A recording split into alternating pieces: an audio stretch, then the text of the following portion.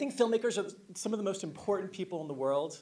And I think our ability to tell stories and empower people and bring emotion and you know, cause people to relate to stories and find understandings in movies is just so important. I mean, I think like, I just can't say enough about the dreams that you guys create. So that's what we're gonna be talking about. How do you take this dream and make it real? And how do you take that dream and jump it into the big leagues, right? Here's just a couple examples of a few movies. Now, what I wanna start with is like, what is your actual end product in making a movie? Anyone have an idea? What's your actual end product when you're making a film? Be profitable. Yeah, thank you, Stephen. That's good. That's good. Oh, okay. That was, okay. Yes, you want to not just make the film, but you want to show the film. You want to share it with audiences. You want to connect. You want to win awards, and you want to get that film distributed, right? So that's actually your goal, not just to make a dream, but to make a dream profitable and to make that film effective and travel around the world and get distribution. So we really need to work backwards. What kind of film is going to get distributed? Okay. Has anyone here been to Cannes or any other meaningful film market in the world? Okay, excellent, good. So this is what it's like when you walk into Cannes, right? It's just rows and rows and endless walkways and just so many different buyers there and distributors and sales agents and things like that. So out of those hundreds of people, why don't you just ask yourself, how am I gonna stand out in that kind of marketplace? How am I gonna interest these people in my film, right? Does that make sense? You get that point of view? Does that make sense? Like we have to stand out. We have to get their attention. We have to make something that people want. We have to create want. We have to create a desire for your story. So whenever I'm starting to write a script, I have those things in mind at the forefront of my mind as I'm getting going. So these to me are examples of like Brick was made for 600,000, Napoleon Dynamite for like two or 300,000 or 400,000, Super Size Me probably $150,000. Um, all these films ended up in the movie, movie theater, and these films became hits. I mean, they changed the culture in some way. Rian Johnson went on to direct all kinds of crazy things because of Brick, and he raised this money through family and friends.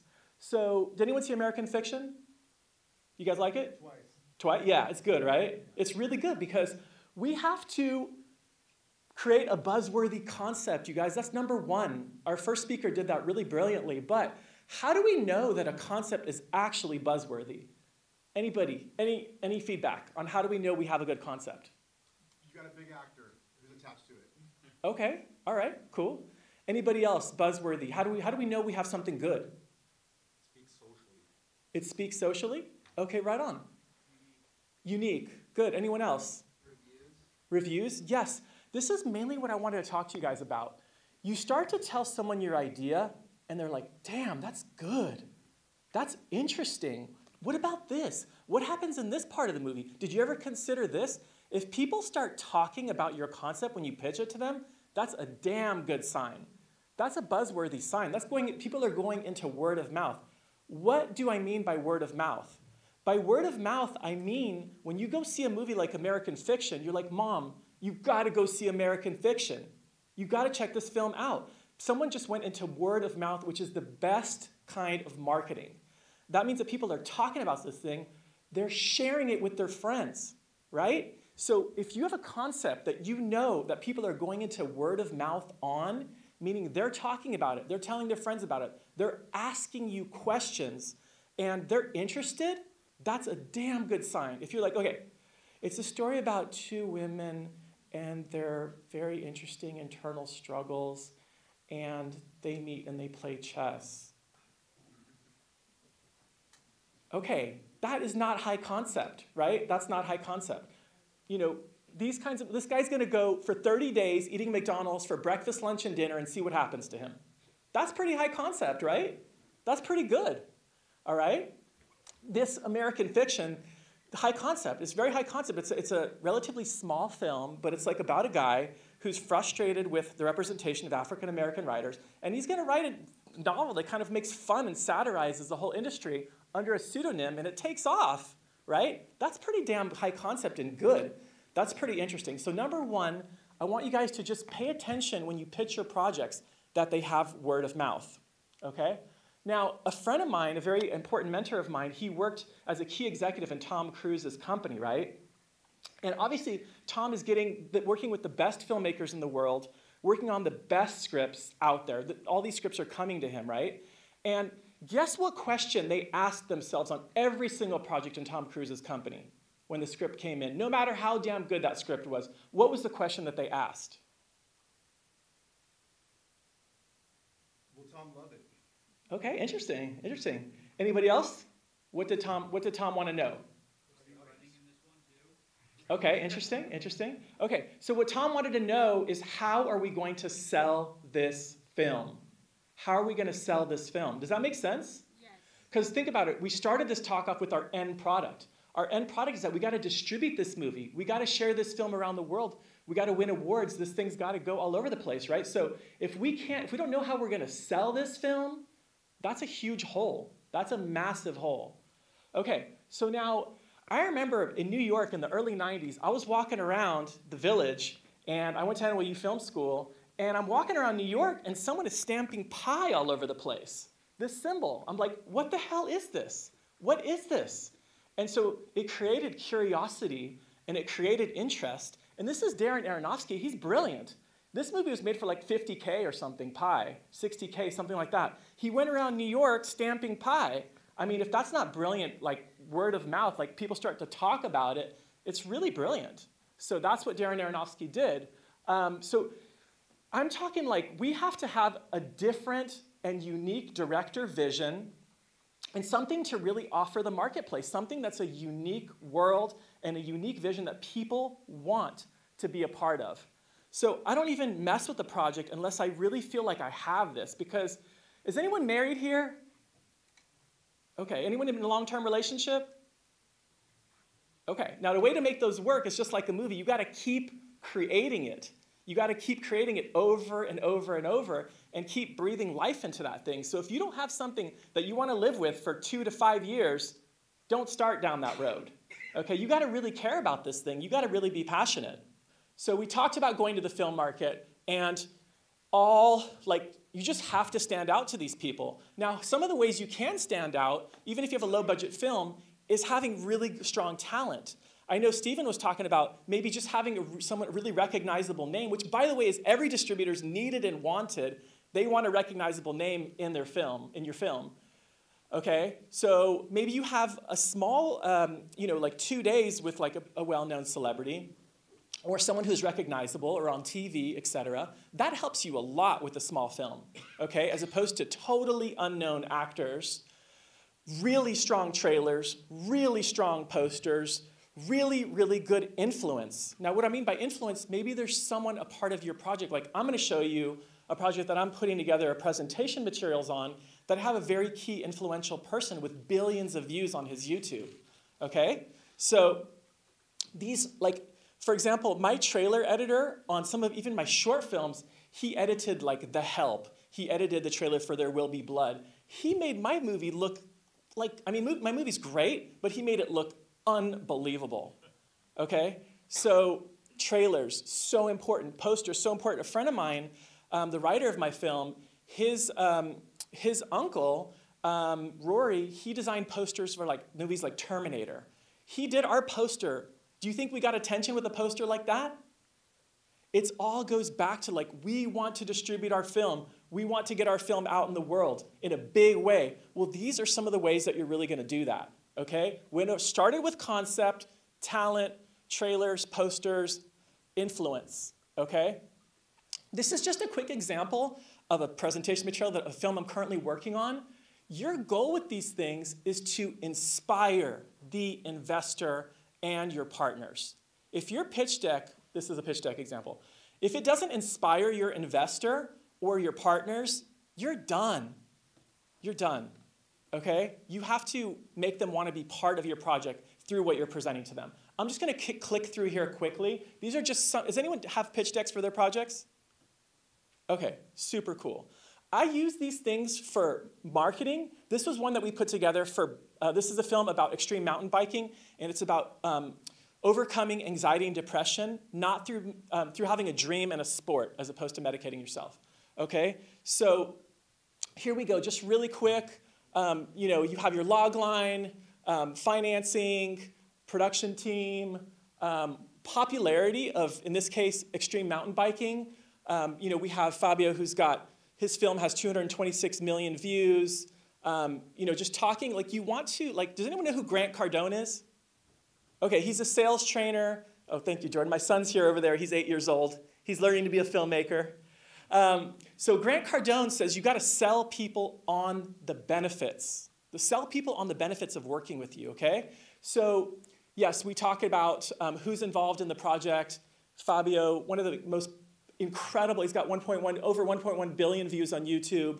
Um, you know, got sponsors all over the place.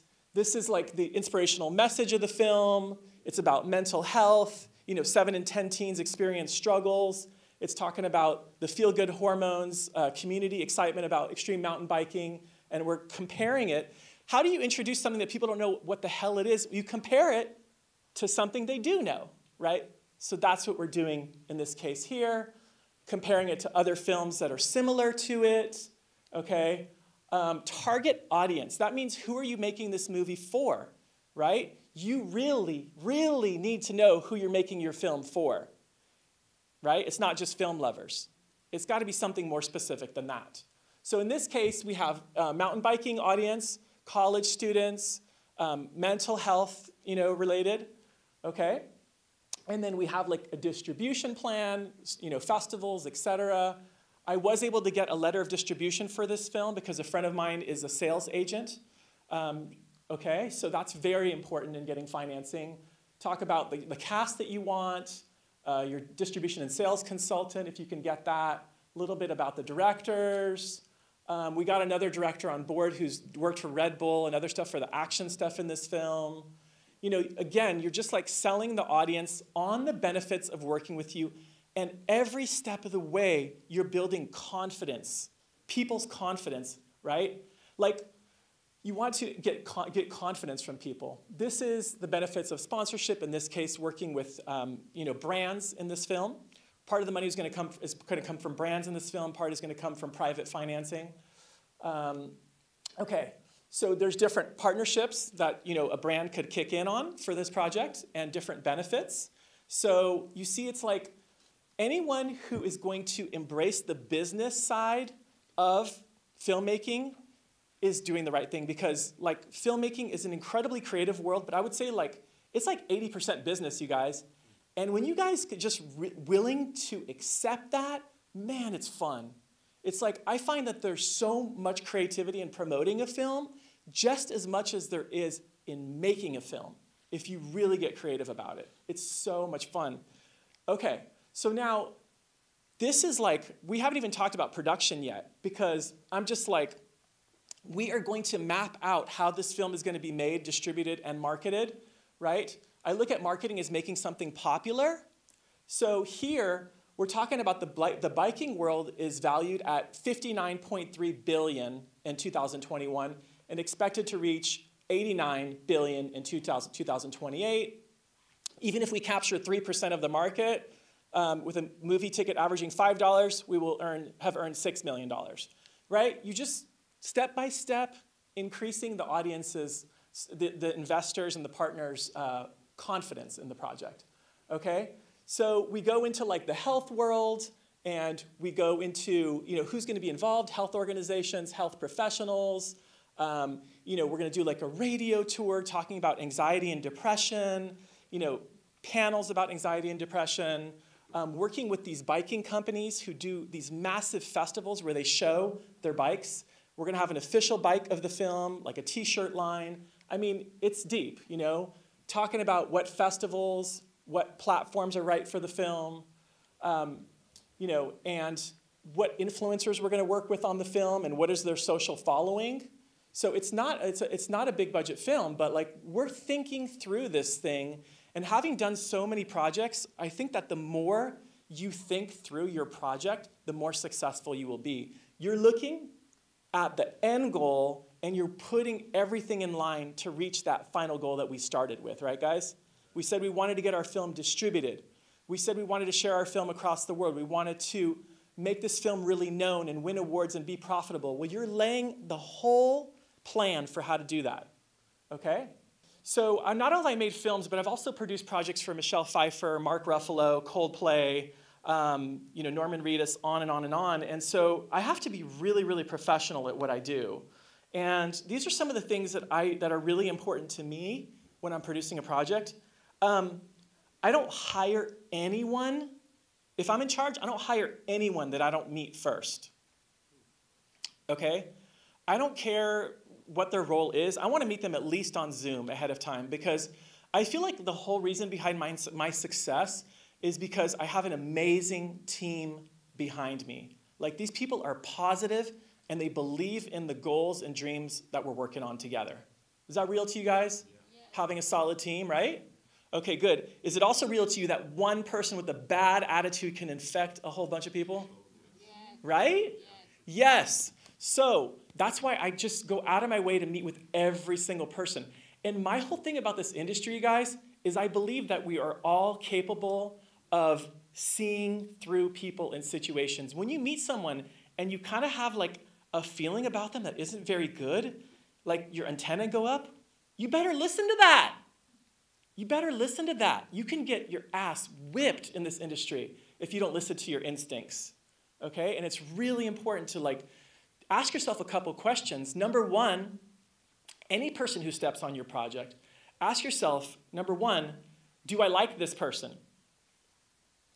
If you don't like them, there's a reason you don't like them.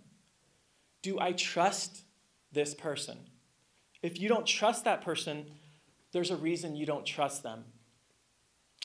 Does this person do what they say they're going to do? Right?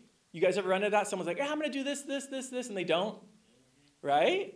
That's, that's not very fun. and then the fourth one has this, has this person successfully done what I'm asking them to do now? Right? Okay. So my another um, mentor of mine, Doug Claybourne, who produced and executive produced for Francis Ford Coppola, um, many, many, many incredible movies. I'm like, Doug, how'd you do it? He's like, I just worked with the best people I could possibly find.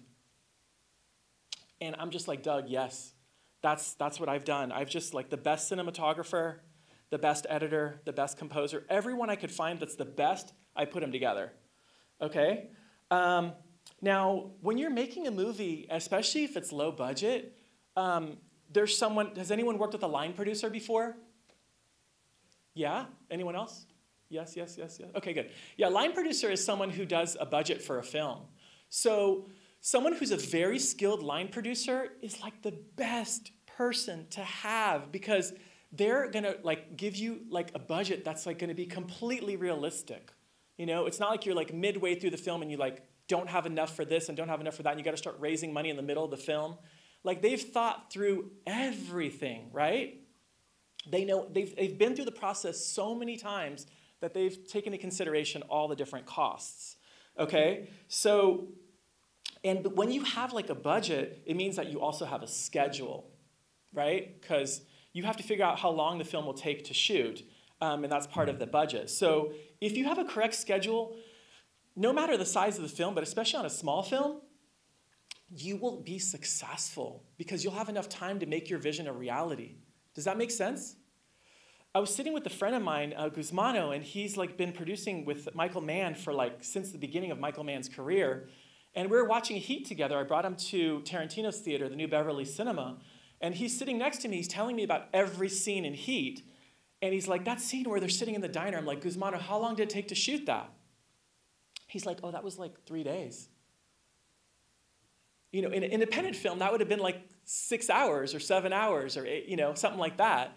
You know, with Michael Mann, that's like three days. So you have to have enough time to shoot your film because I believe if you walk away with nothing else from this, that time, lack of time, is the biggest enemy to creativity. You can't be creative if you're like have 10 scenes to shoot in one day, right? Like you can't give it your best.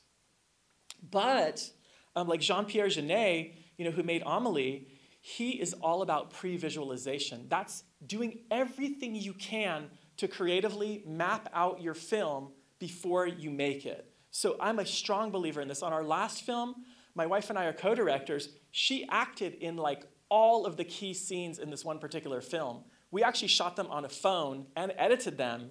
And so we knew the film that we were going to make before we made it. We knew all the problems, we knew what was great about it, and we just felt like uh, we showed that to the, to the team. Like they all, before we made the film, they're like, oh, there's the edited scene. I get it. You know what I mean? The cinematographer was so confident, he knew exactly what to do, right? And Robert Rodriguez, does anyone know Robert Rodriguez? Yeah, he's a genius. Watch his video storyboards on YouTube. He is amazing. He's got like a whole 10 minute film school, by the way. But I just want to say, Robert Rodriguez, the more you map out what you're going to do with your film in production, the more successful you will be. I highly recommend, he's a monster, serious. I highly recommend doing table reads, which is getting your actors around a table and reading that script. Has anyone done that? Yeah, cool. You're going to find out everything that's wrong with your movie right there, or not funny, or not impactful, and that's a great opportunity to make those changes right there. The first film Bayou and I ever made, Text Me, is viral on YouTube. You know, the actor went on to do a, a film with, um, you know, Nickelodeon, a series on Nickelodeon, and then he was in the Sony Pictures film as a star uh, with Will Ferrell. Well, we basically shot that film like three times before we went to shoot that film. We just, you know, shot it at a you know, just shot the whole thing on a, on a you know, at that time it was like a camcorder, like a digital, high, uh, digital camcorder. So I really believe in testing and testing and testing. So um, these are some things that I really, really believe in from production. Um, I always ask myself, what are the assets, meaning like the valuable things on my project?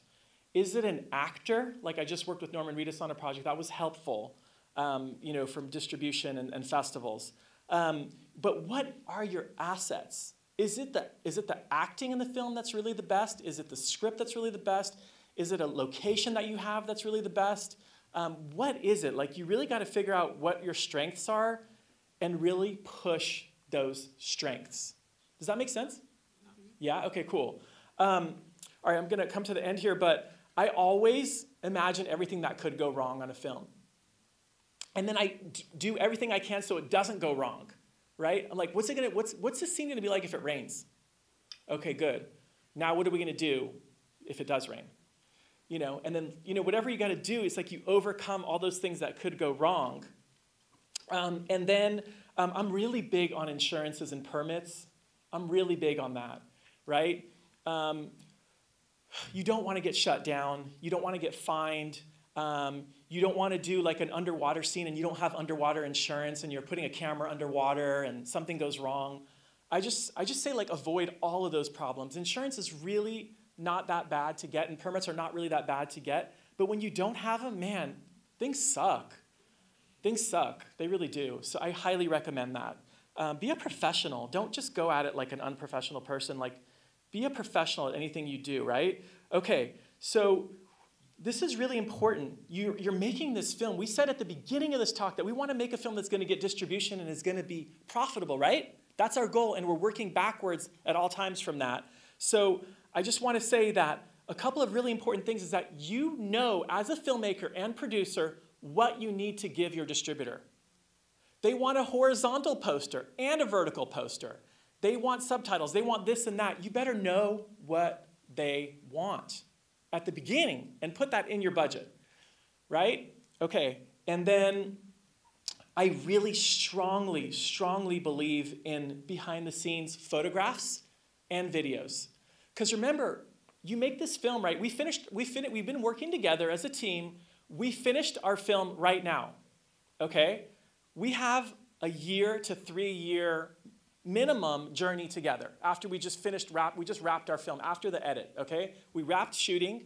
Now we have this journey ahead of us but these photographs these videos these behind the scenes allow us to continue to interest an audience. Does that make sense? Like did anyone see the, the movie roma? Yeah? They if you looked at their instagram they just kept putting out photos kept putting out information kept interesting the audience. That's what's, what you need to do. So at this point, I'm going to end off on my talk. I just want to see if anyone has any questions. If anyone's interested in learning more Um, I have a course called The Art of the Film Business that my wife and I put together with the Film Connection School, and you guys can definitely do this course. It'll give you all of this business side of filmmaking and make you very successful if you actually put it into action. Okay. Did you guys get something out of that? Right on, right on. Yo, Big round of applause, please, for Daniel Lir. thank you. Should I take one question? Oh, oh, go ahead, yeah. Yeah. Yeah, distribution. Um, so like, do you think uh, just go straight to VOD at this point? Like, if you're gonna have a like a smaller budget and don't worry about theatrical releases? Maybe Stephen can answer this better than I can, but I think theatrical is, is kind of like a losing financial proposition. I, I personally think that way. If you have a film that justifies theatrical, then great, but it has to make sense financially. You want to make money, not lose money. But at the same time, if you do put your film in theaters, you know, it'll allow you to go to the top of the new releases. You know what I mean? And also get reviews and things like that. So it has huge benefits to go into theaters, but you need to think about it. Not every film should get theatrical, right?